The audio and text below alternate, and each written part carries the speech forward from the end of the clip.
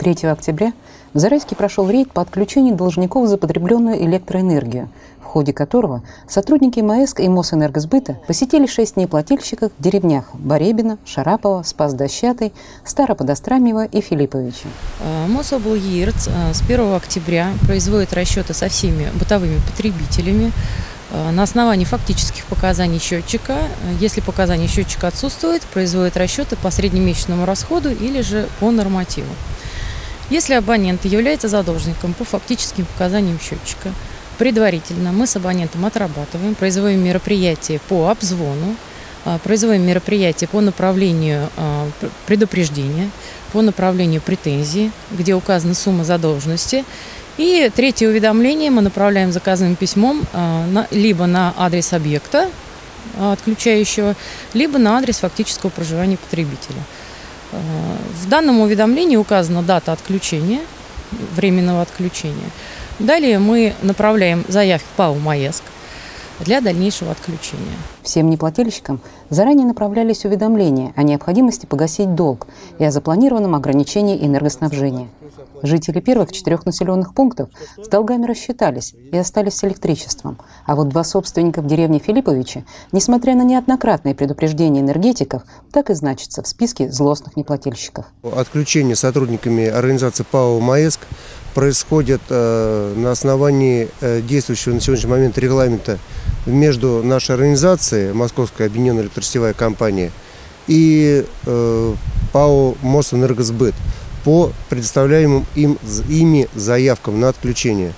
А также мы действуем на основании действующего 442 постановления правительства Российской Федерации в части раздела «Правила полного или частичного ограничения потребителей электроэнергии». И также в этом году вышло новое постановление 624, э, э, которое было подписано 24 мая и вступило в силу с 1 октября текущего года, где более ужесточены э, действия страны энергосбыта, на основании которых ограничение потребителей в потреблении электроэнергии возникает по следующим случаям. Это первое, задолженность по электроэнергии и неоплата электроэнергии в течение одного платежного периода, то есть месяца – Независимо от суммы долга, энергосбыт уже может санкционировать заявку на отключение. А второе, ненадлежащего использования своей электроустановки потребителями. Вот, безучетного потребления электроэнергии. В случае недопуска представителей организации ПАО «МАЭСК» и энергосбыта к своим приборам учета. И в случае непосредственно санкционированного самим заявителем заявки на прекращение договора энергоснабжения. Если приезжает представитель МАЭСКО на отключение, вот, то есть сетевой организации, единственным способом а, остановить, ну, само отключение, прекратить, абонент может только в том случае, если предоставит э, квитанцию на оплату о погашении задолженности. А все остальные ну, вопросы как бы с сотрудниками э, сетевой организации нерешаемы.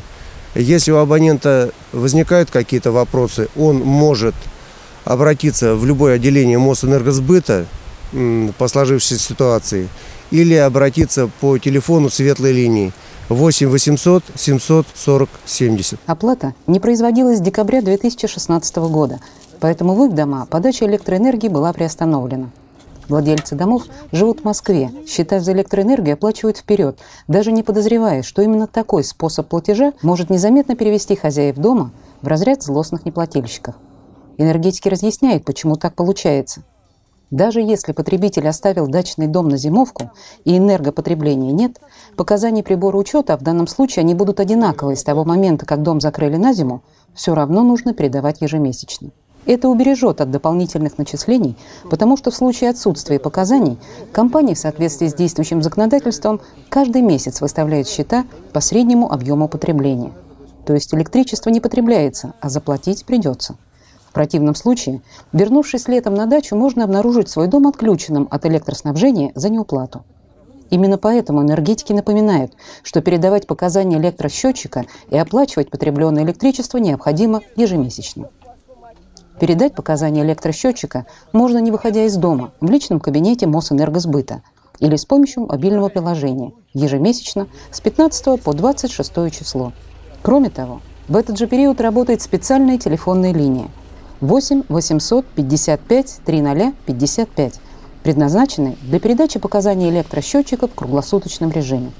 Отключение от электроснабжения грозит не только тем, кто накопил долги за потребленную электроэнергию, но и тем, кто совсем не платит, подключившись самостоятельно к электросетям.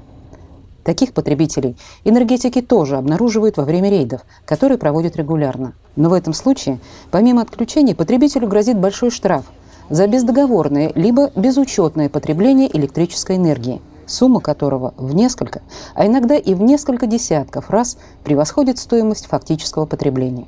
Энергетики предупреждают, своевременная оплата счетов за электроэнергию – самый выгодный способ расчетов. Валерий Маркович, Герман Беляев, студия «Квант», Зарайское кабельное телевидение.